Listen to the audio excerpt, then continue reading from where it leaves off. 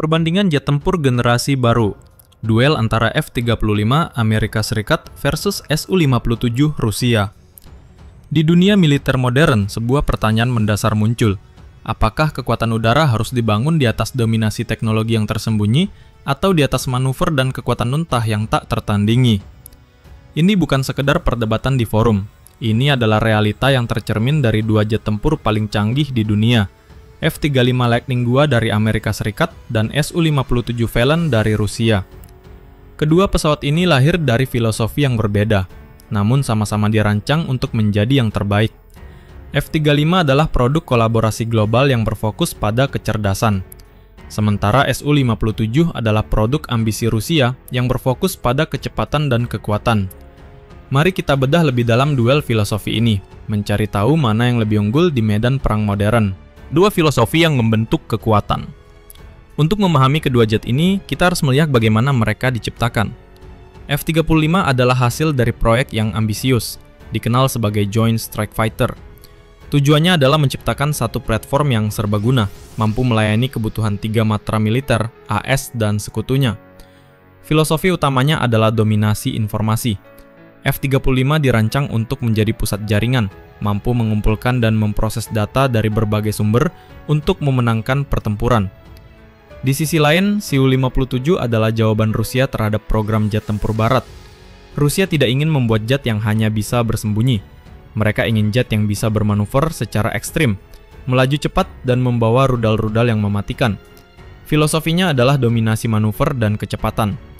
Su-57 adalah perwujudan dari tradisi Rusia dalam membangun jet tempur yang tangguh di udara membedah kekuatan F-35. F-35 sering dijuluki pusat jaringan terbang karena kemampuannya yang unik. Teknologi siluman, stealth. Desainnya yang radikal membuatnya sulit terdeteksi oleh radar.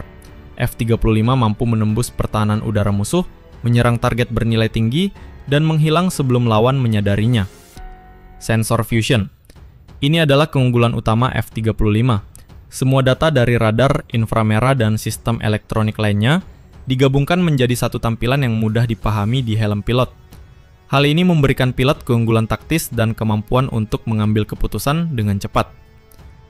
Kelemahan Meskipun unggul dalam teknologi dan stealth, F-35 tidak dirancang untuk pertempuran udara jarak dekat, dogfight, yang intens. Kecepatannya juga tidak seistimewa jet tempur lain. Membedah kekuatan Cu-57 Cu-57 atau Velon adalah jet tempur yang dibangun di atas kekuatan, manuver ekstrim. Berkat teknologi thrust vectoring, mesinnya bisa mengarahkan dorongan ke berbagai arah. Hal ini membuat Su-57 mampu melakukan manuver-manuver akrobatik yang hampir mustahil bagi jet lain, memberikannya keuntungan besar dalam dogfight. Senjata hipersonik Salah satu ancaman terbesar dari Su-57 adalah kemampuannya membawa rudal hipersonik KH-47 M2 Kinzhal. Rudal ini dapat melaju dengan kecepatan Mach 10 dan sangat sulit dicegat, menjadikannya senjata strategis yang menakutkan. Kelemahan Meskipun Rusia mengklaim kemampuan stealth yang baik, banyak ahli berpendapat bahwa Su-57 tidak sesiluman F-35. Ini membuatnya lebih rentan terhadap serangan jarak jauh, duel filosofi yang berjalan di udara. Jadi, siapa yang lebih unggul? Jawabannya tidak sesederhana itu.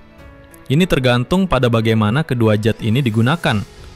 F-35 adalah perwujudan dari dominasi informasi, di mana memenangkan pertempuran adalah tentang melihat dan menembak lebih dulu. Sementara Su-57 adalah perwujudan dari dominasi manuver, di mana memenangkan pertempuran adalah tentang mengalahkan lawan dalam duel satu lawan satu.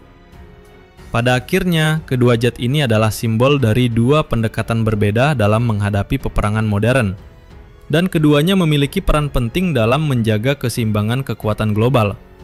Kalau Anda adalah seorang strategis militer, pendekatan mana yang akan Anda pilih? Apakah Anda lebih mengandalkan dominasi informasi F-35 atau dominasi manuver Su-57? Tuliskan pendapat Anda di kolom komentar.